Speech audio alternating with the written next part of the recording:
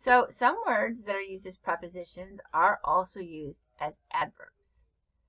If a word that can be a preposition does not have an object, you can't answer the what question, then it is an adverb. If the word does have an object, then it's acting as a preposition. So an example, the boy fell down. Okay, down is in your preposition song. It's often used as an adverb.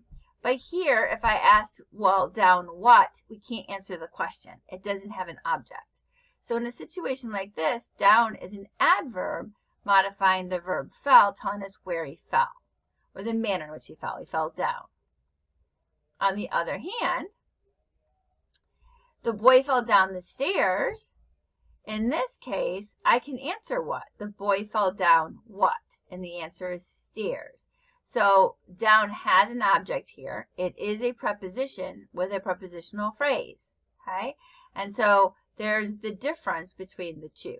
So when you are looking through a sentence, being able to tell whether or not a word is being used as a preposition or is it being used as an adverb um, affects your understanding of the sentence and the sentence structure and other words in the sentence.